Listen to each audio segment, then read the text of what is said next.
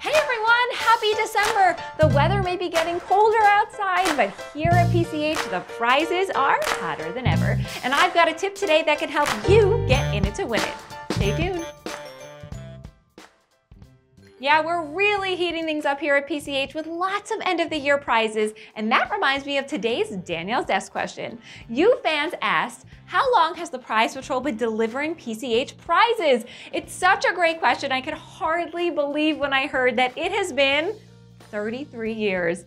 How amazing is that? And I'm happy to be part of it. It has been an amazing experience. We've changed more winners' lives along the way than we can even count, and we are not done yet. Real soon, we'll be awarding $1,250,000 for a dream home, and it could be all yours. Just claim your entry with the link I leave in the description and let me know in the comments if you're in it to win it. Good luck!